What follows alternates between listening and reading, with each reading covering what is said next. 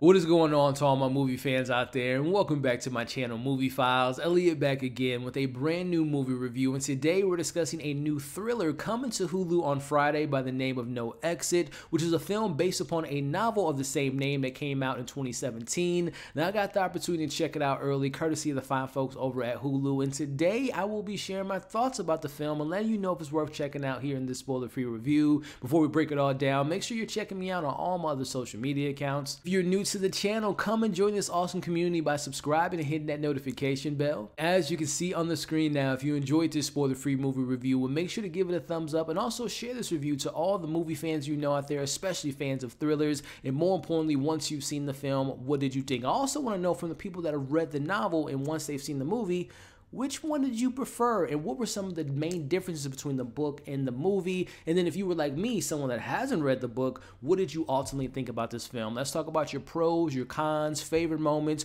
Were you surprised by the reveals? Were you disappointed by the film? Let's talk about it all in the comments below. So for me personally like i just mentioned i have not read the novel. I kind of stumbled upon this movie. I reached out to hulu literally a couple days ago because i saw a, a glimpse of the trailer. I'm like okay yeah this is interesting enough. I didn't even watch it trailer. I didn't even read the synopsis. I went into this pretty blind, and I want to kind of give you all very vague information about this plot because it's one of those films where I think if you don't, the less you know, the better the experience. So we'll get into that here in a second here. But with all that being said, what did I think about it? Is it worth checking out? Well, let's start off with my positives. Going back to that point I just mentioned, the less you know, the better. So I'm going to give you just a brief synopsis, and I will say, I did watch the trailer after watching the film just to kind of see if it gave away things. The trailer does a really good job of keeping a lot of the big reveals away. But basically, what the film tackles here is this young lady by the name of Darby who is in rehab. She's a recovering addict. She gets a call from a family member letting her know that her mom is in the hospital.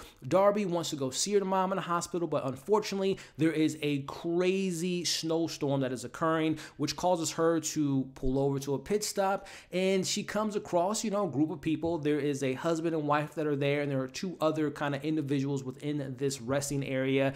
Darby goes out to a car, tries to get some bars, tries to get a reception so she can let her family know, hey, I'm, I'm stuck in this storm. I can't get out of it. I'm going to try to get to my mom as soon as possible. And as she's trying to search for reception, she hears something screaming. She makes her way to this van, and there is a little girl tied up in the van. And now it's upon Darby to find out, okay, whose van is this and who are you people? That's as much as I'm to give away. And just kind of starting from that point as far as my positives go, this was a movie to me, which is a perfect example as things got better as the film went on. I'm talking about the story, the narrative. There's a twist in the genre that the film kind of presents. The performances from our main actress gets a little bit stronger. It is a film that definitely leaves you on the edge of your seat and kind of getting back into some of those things I liked about the story. And and this kind of talks a little bit about the negatives, and I'll talk about it more when I get to that part of the uh, the review. But it starts off a little generic, you know, like, okay. Darby seems to be, you know, a stereotypical person that doesn't have that much depth in her character. You learn a little bit about what she's going on and you see that there's tension within her family and it kind of hints towards her trying to get to her mom because maybe the last time she saw her mom, it wasn't like the best conversation. So things were kind of stereotypical within the first like 15 minutes. She makes her way to the lounge and meets these individuals and things just, to me, the first half of the film almost felt like and this is no disrespect to the filmmakers, but it felt very like student film like, very stereotypical, very basic level of filmmaking and storytelling. But then the film to me finds its footing, finds its breath, really picks up its energy once she finds that little girl in the van. And from there on out, we go from this again, kind of stereotypical drama of a sense, and then we kind of transition into a mystery. And then by the time you get to that third act, it's a full on thriller slash survival film. And I really enjoyed kind of going through those elements of the film and really becoming surprised by the twist of the mystery, thriller, survival aspect. So I really like how the film kind of comes together because, again, those first 15 minutes, I'm like, yeah don't know if I'm really enjoying this, but then it kind of twists itself on its head and it gets better as each act comes about itself. Which also, speaking of getting better, gotta say, our lead in this film, Havana Rose Liu, who this is my first time being exposed to her. I kind of looked her up after the fact. She seems to be like some type of social media influencer, a model, or whatnot, but she was pretty impressive in this film. Again, that first half, things were kind of looking a little like, man, that our lead isn't really hitting those emotional beats. She's not really giving me all that type of like interesting vibes from her character character but like the film, her character grows more. You start to kind of get more into her head psyche. You start to understand how important this is that she's willing to do anything to protect a stranger she doesn't know. So I really want to applaud the performance by Hannah Havana because, like I said, as the film progresses, gets stronger, the narrative gets more interesting, the thrilling aspects get more thrilling. Her performance coexists and kind of goes within the beats of the film. And I thought her performance really led to something you were rooting for. You really wanted her to figure things out and make it out of this crazy situation. And also, I don't want to neglect there are some veterans that make their way in this film, some supporting cast members. One, for example, I mentioned that there is a husband and wife in this rest stop played by Dale Dickey and Dennis Haysbert. Now, I'm a fan of both of their works, and particularly Dennis. I grew up with a lot of films that he was in. You all know him as the insurance guy. Their roles were pretty pivotal to the film because, again, whose van is that? What is their backstory? There's a couple other individuals. There's one more individual that I wasn't the biggest fan of his performance, but from the most part, I thought our supporting cast definitely complemented the story. But I have to say, the standout actor for me is a gentleman by the name of Danny Ramirez, who I've been following for quite a few years now. I remember the first time I saw Danny, he was in this film by Sam Levinson by the name of Assassination Nation. A lot of you all may remember him as Torres. He played in Falcon and Winter Soldier, and this film really impressed me in his performance. All of his other roles, he's been strong. He has like really good screen presence, and without giving too much away about his character, like I said, he's one of the other individuals in the rest area he gives you a lot of range in this role. And I'll just kind of leave it at that. And, and like I said, Hollywood, is, he's going to be put on notice because not only has he been, like I said, he has good screen presence. He's really doing his thing in this film. And I'm really looking forward to seeing him in Top Gun Maverick. But I thought for me, the standout character, the standout performance was Danny Ramirez. Ramirez. And once you all see the film, you'll know exactly what I'm talking about. So really good performances, a, a film that gets better as it goes on. And I will say, without spoiling it. There is a when a film can make me cringe and make me kind of tie myself up and kind of watch a film like this i give it kudos and i won't say when and where and what happens.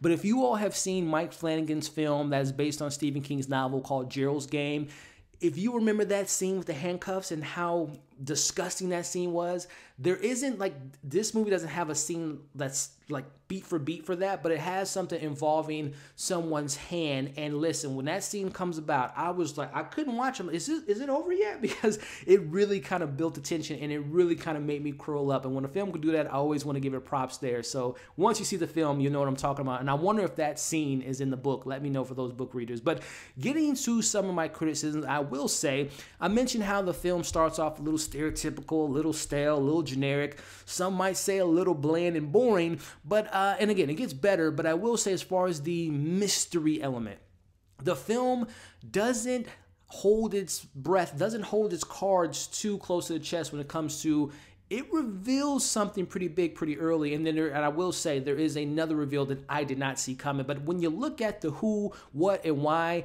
that actual mystery box wasn't as creative or inventive or unique as I hoped that it wouldn't be. And also, it didn't make that much logical sense. Again, once you've seen the film and from book readers, I don't know if it's the same beat by beat of like why this little girl's in a van, but I found that to be a little bit lackluster and not as interesting as I was hoping it could be.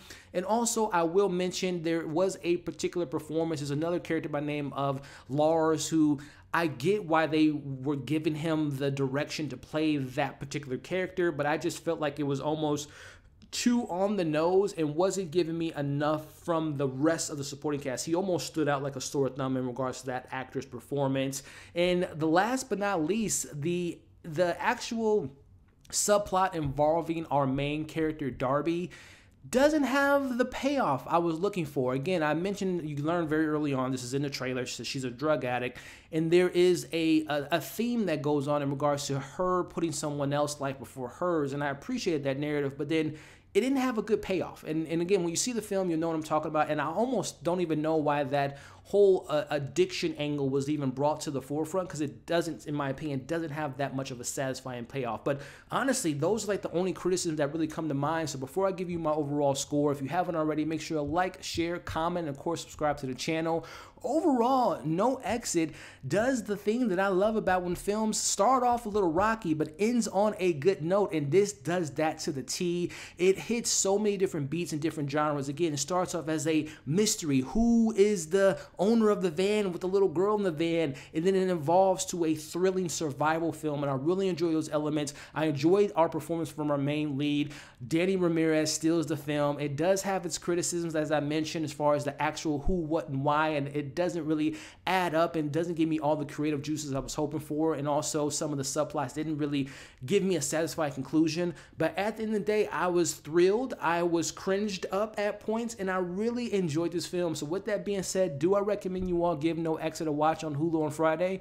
Yes, I think you will enjoy it. So I'm going to give this film a 3.5 out of 5. And when you all watch the film again, if you read the book and you've seen the film, let me know the differences. Which one did you prefer? And then again, if you were like me and haven't read the book, what did you ultimately think of the film? Pros, cons, favorite moments, least favorite moments. Let's talk about that all in the comments below. Thank you all again for watching this movie review. If you haven't already, before you leave, make sure to like this review, share it, comment, and of course, subscribe to the channel if you haven't already. Hope you all enjoyed it. Hope you're staying safe. As you can see on the screen now, subscribe to my channel, check out my other content. We'll catch you all on the next video.